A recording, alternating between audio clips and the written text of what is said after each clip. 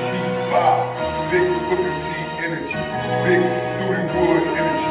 Hold up, man.